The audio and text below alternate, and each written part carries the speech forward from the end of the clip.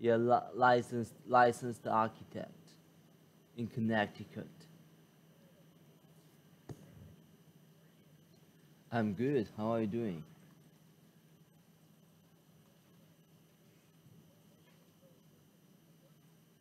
Yes.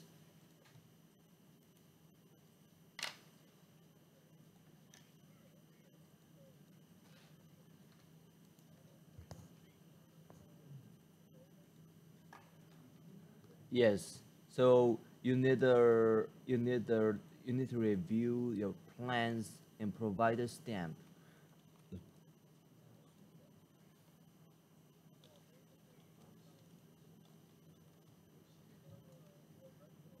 Mm-hmm.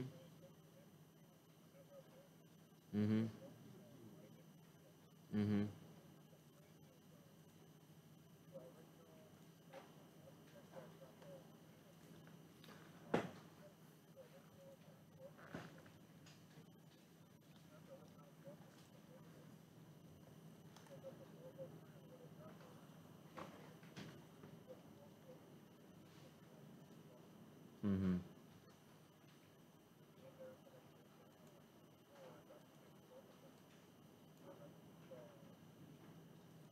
the town the proposal plan and how the bar is going to look. It's a very small bar. It's just uh, basically high.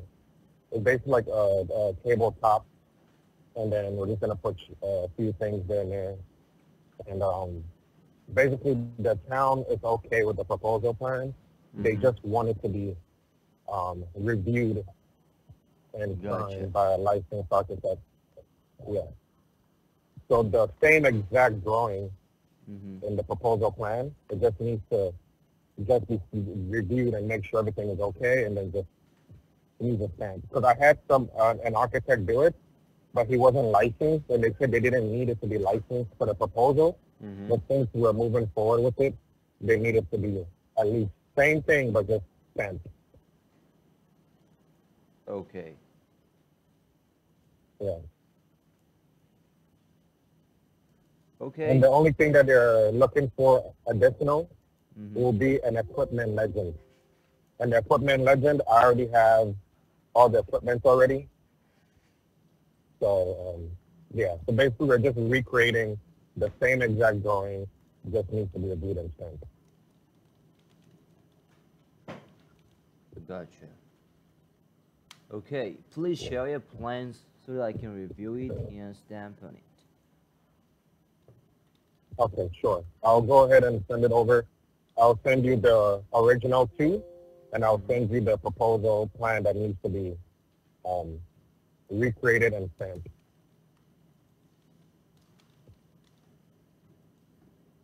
Okay. So nothing changes in the proposal plan, yeah. Yes.